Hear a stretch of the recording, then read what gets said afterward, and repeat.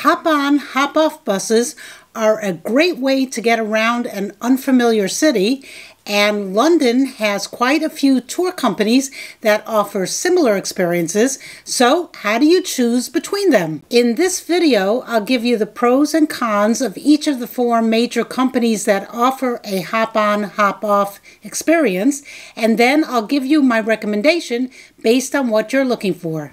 Hello, everyone. Today we are in cloudy but iconic London. It's a bustling, busy city with so much to see and do. This is definitely a walk friendly town with many attractions clustered close together, but using a hop on, hop off bus can be a more efficient way of getting around, especially if you're in tourist mode and just want a stress free way of seeing London and getting from place to place. It's also good if you have trouble walking long distances or are afraid to navigate around in a strange city. So let's start with the pros to taking a hop on, hop off bus. And first off, you get a tour guide along with the ride. No, it's not a real tour guide. It's just recorded audio about the landmarks you're passing. And many companies offer that commentary in several different languages, along with earphones to listen in. But it's better than nothing, and if you don't care about the details and just want to know what you're looking at, that's what you'll get. Another pro is the idea of hopping on and off the bus at just the right places so that you can explore and get back on the bus to the next attraction. Instead of studying city maps and trying to figure out how to get from place to place, these hop on, hop off buses do all the mapping and routing for you. And that's a big plus if you have a limited time to spend in the city. Some of these companies also offer free walking tours, river tours, night tours, and combo tickets for other London attractions, so this is tailor made for the London tourist. On the con side, the commentary these buses offer is often very superficial, so that could be a pro if you don't like too much detail, or a con if you do. If you want in depth information about the sites you're seeing, this is not the way to go. This is also not the fastest or cheapest way to get from site to site, especially if you're in a large group and you only want to get from point A to point B and not all over town. If you're not afraid to venture out on your own using public transportation, we'll get you there much faster and cheaper, but you have to put in the effort to figure out how to get there, which is really not that hard. We used two apps to get around London Google Maps, of course, and an app called Citymapper, which I found very helpful in getting us from one location to another. It was very precise, telling us which trains to take and when they would arrive and how long it would take, and also step by step on how to walk from the train station to the actual site. But back to these buses, for some, the pros outweigh the cons. So let's take a look at the top four companies you should consider before buying your hop on, hop off tickets. And those are Big Bus, Toot Bus, Golden Tours, and City Sightseeing. I'll go through each of these and give you a rundown on the ticket types, the hours of operation, the routes, and the prices. I'll also walk you through some of the online reviews and then we'll wrap this up with a nice way to compare and make your own decision. Okay, let's start first with the big bus, and yes, you see them everywhere. They seem to have the most routes and stops and have excellent reviews on TripAdvisor. There are a number of ticket options, including an evening tour that is not a hop on, hop off, but rather a hop on and stay on for two hours and a panoramic tour of the city in the evening. The least expensive hop on, hop off bus is the Discover ticket, and that's about 40 pounds if you buy it online ahead of time, which is usually cheaper than buying it on the street.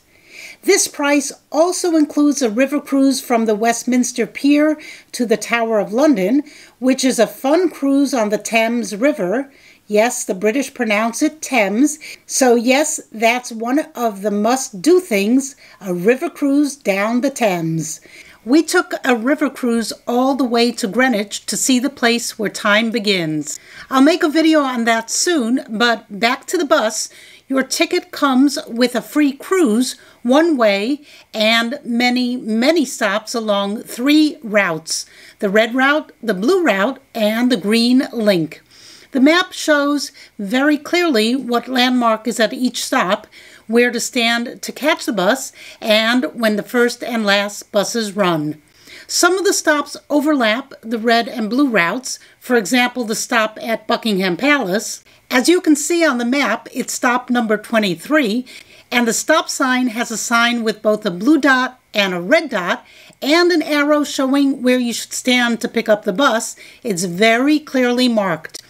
You can see that not only the big bus stops here, but also the original tour, which is also known as the Toot Bus, and also the Golden Tour.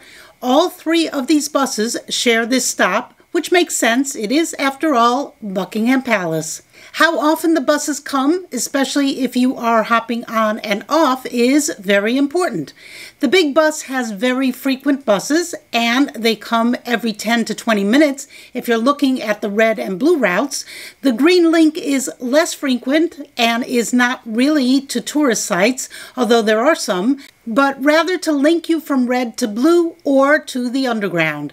The green link runs according to the published schedule every 30 to 60 minutes, so you could be waiting an hour for that connection. There's also a Big Bus app that's useful to find out when exactly a bus is coming, and it also gives you a more detailed map of the area if the app works. I found reviews that said that the app did not give live updates accurately, and the buses were running more like 30 minutes between them or the buses were crowded, which has nothing to do with the app, but there were not good reviews on the app. Let's take a look at TripAdvisor, and you can see almost 7,000 reviews with a rating of 4.0. That's a lot of reviews, and let's take a look at what some people are saying. Here's a review from someone named PS8200. They gave Big Bus a rating of 2. They didn't like the audio portion of the tour, but that's really standard. These are not tour guides, it's just an audio of what landmark you're looking at, nothing in depth. Reading the reviews on TripAdvisor, PS8200 comments that they were disappointed with the audio part of the tour. They had thought it was more of a guided tour than a superficial rundown of landmarks. So don't expect anything more than that. Here's another review from Georgia C. The driver never said a word, and when a passenger asked which route they were on, his response was, I'm not following the route. Wow. So if you get a crabby bus driver, you're in trouble. But that's with any bus line you take. There were a lot of positive comments as well. Here's one from DJ Mike Best bang for your buck. You can see from his review that he was quite happy. So there's a mixed bag of reviews, but overall, the rating for Big Bus was 4 out of 5, so overall, very positive. If you want to use the bus as a stay on ride and in this way cover the city from the convenience of a seat and hopefully a good seat on the top with a good view, then the blue route with 38 stops will keep you occupied for three and a half hours, while the red route with 25 stops will keep you busy for two and a half hours. Sit back and enjoy the ride if that's what you want to do. This bus goes everywhere you want to go as a London tourist without having to figure out how to get there. The next bus company we'll look at is the Toot Bus, also known as the Original Tour.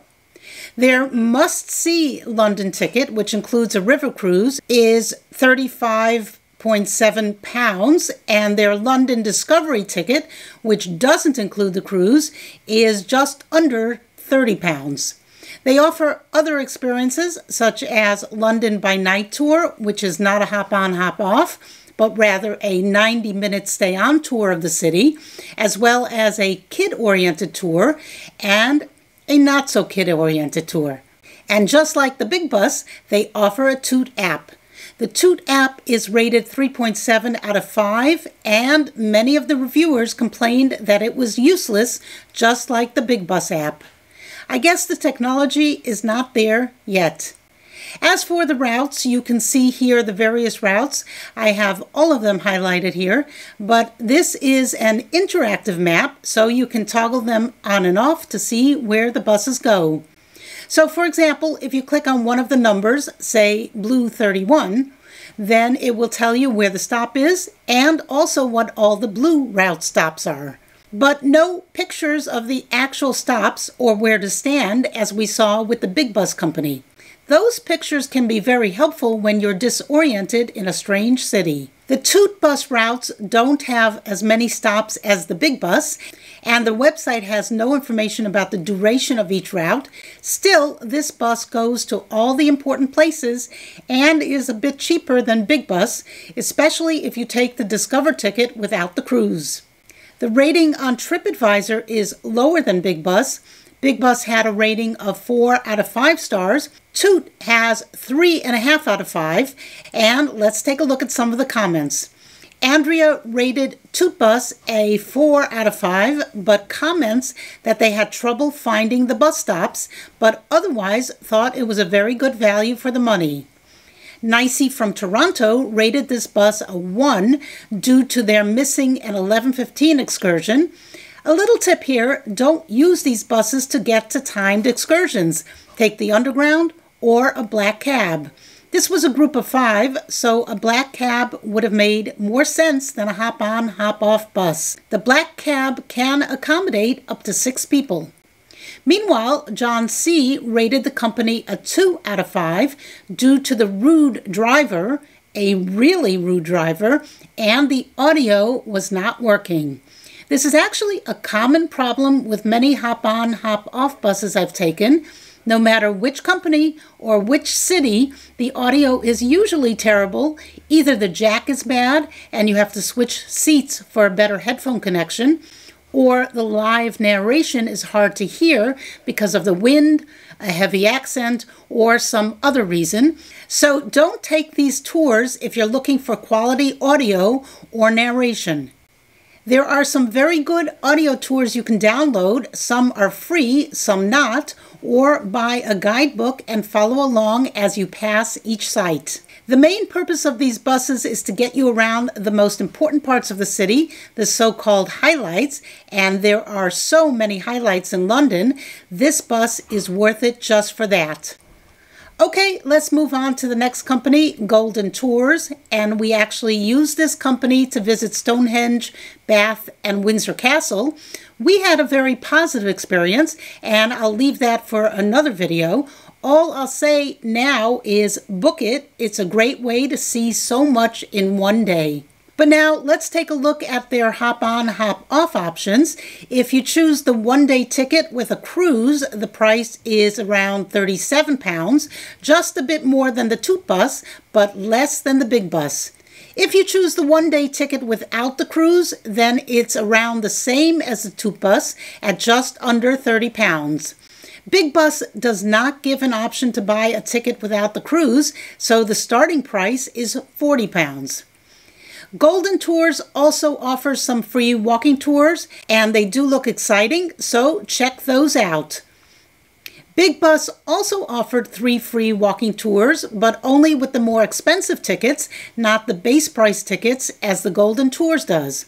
Toot offers self guided tours via an app, but you can get that for free without them, so the Toot Walk doesn't really add much value. Golden Tours has three main routes.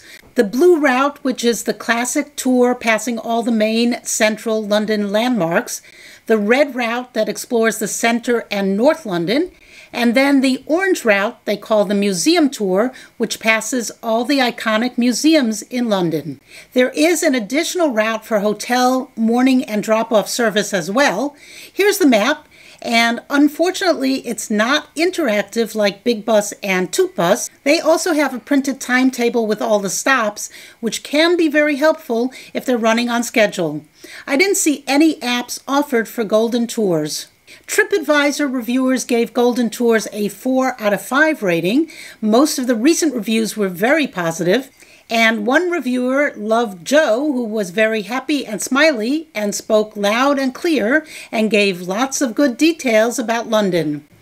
And then Joe's shift ended, and the next driver didn't live up to the high bar that Joe had set, so that was a disappointment. The great thing about a hop on, hop off bus is if you don't like the driver, hop off and wait for the next one.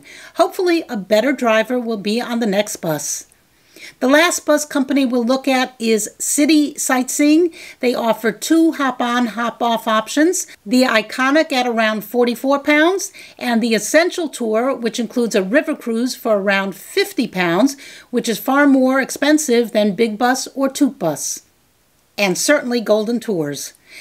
The buses run three routes covering 31 stops, which is less than either Big Bus or Toot Bus, and for more money.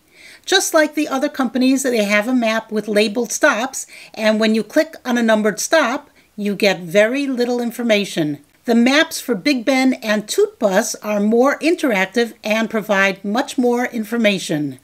There's also no information about an app, so it doesn't appear that they have one.